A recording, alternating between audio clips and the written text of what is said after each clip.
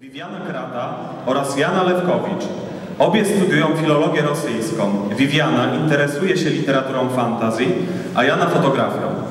Zaprezentują niezwykle eteryczny utwór, który mieliśmy już przyjemność usłyszeć w poprzednich latach na tej scenie z repertuaru Leny Kaufman Noć sijała krystałem. Na akordeonie zagra z nimi Marek Szczęsny oraz Stas Marinczenko na gitarze. Zapraszamy i przywitajmy ich brodami. Brawo!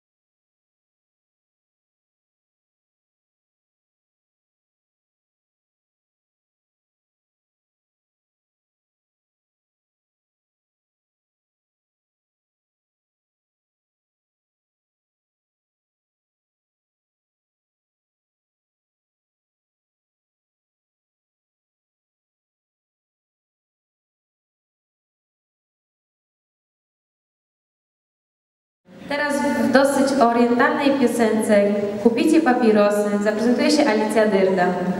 która jest studentką pierwszego roku filologii rosyjskiej.